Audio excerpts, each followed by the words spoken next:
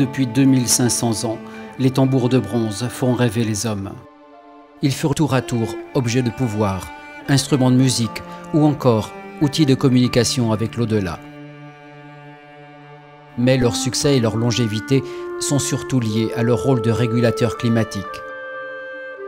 À toutes les époques, ils furent l'objet d'un commerce sur de longues distances, une tendance qui ne se dément pas aujourd'hui puisqu'ils continuent d'alimenter passions et trafics. L'économiste Jacques de Guerny s'est pris de passion pour ces objets hors du commun. Durant quatre années, il a sillonné les routes du sud de la Chine et de l'Asie du Sud-Est à la rencontre des meilleurs spécialistes, des fondeurs et des derniers tambourinaires. Il s'est forgé une opinion détachée des idées reçues et des passions nationalistes.